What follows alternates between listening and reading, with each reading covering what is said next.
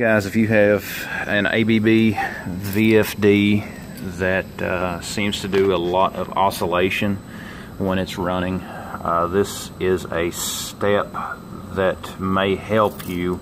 Uh, we can see this commonly if there is noise in a control signal.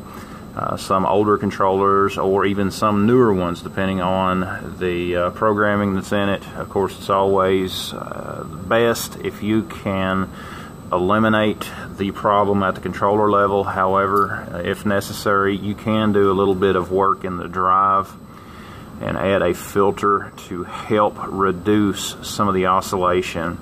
The first thing that we need to do anytime you are working with an ABB drive, you can see this says Johnson Controls, however it is an ABB. Uh, any of you all familiar with these know that uh, they just buy the drive and put a Johnson Controls or a York sticker on them uh, sometimes they may have a little bit different firmware also, but you know they're pretty much all very similar. First thing that you need to do is we need to take it out of run or auto mode and because it will not let you make any changes to any of the parameters. If you go in here uh, you can see that any changes is just going to kick it right out.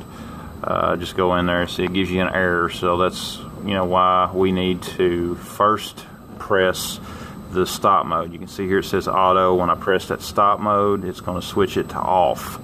Now then we can go into our menu, parameters, and the particular parameter that we want is going to be AI1. And the reason that I say that for this particular drive is AI1 is our reference.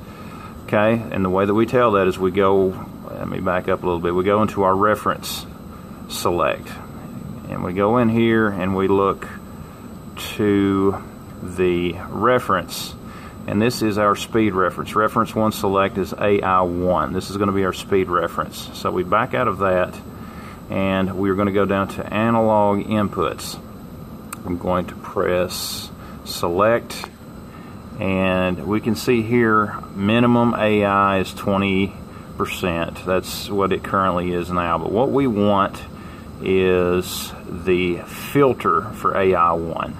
This is what we're going to do here and we're going to hit our edit button and what I'm going to do is just add a few seconds to this. I'm going to go up to about five seconds see how that does on uh, filtering out some of the noise, some of the oscillation that's in this. And, you know, if that's not enough, we may go a little bit more, but this should be more than enough. You don't want to go too far, but uh, it is, this is one way of helping. Now that I put that value in, I hit the save button and I also hit exit. And one thing that I always like to do anytime I make parameter changes is I like to back up the parameters. Scroll down to parameter backup. Uh, you guys, you may want to check out my video on how to back up the parameters on these drives. But we scroll down here, hit enter, upload to panel and you can see here there are no previous backups so it's real good that we do this. If something happens to your drive you need to change it out. If you have a copy of those parameters it makes setup of a new drive much faster.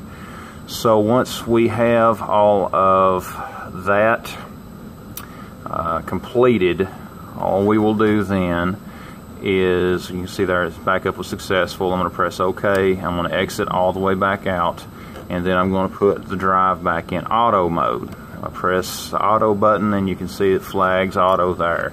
And we are ready to restart the machine and see how well that does. Now once the unit is back up and running, it has been online for a few minutes, we can see just how much more stable the unit is running. You can see here the set point is staying at 78%. 78.2, you know, two tenths is not bad. So that is how you can smooth out some of the oscillation within a VFD on your system. If you like the video, give it a thumbs up. Also, be sure to subscribe, and thanks for watching.